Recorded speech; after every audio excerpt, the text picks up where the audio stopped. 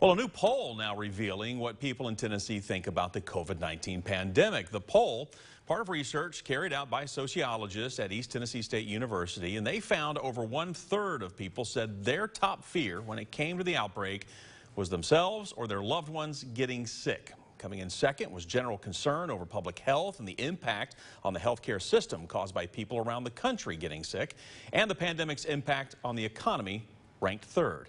The poll also finding the majority of Tennesseans support government actions to slow the spread of the virus. 45% reported feeling the measures taken by the federal government to slow the spread have been appropriate, and an additional 38% believe the government has not gone far enough. People responded even more favorably when asked about the state's response. Those responses represented by the blue bars on the graph. Nearly half of all Tennesseans, 49%, believe the moves made by the state of Tennessee have been appropriate.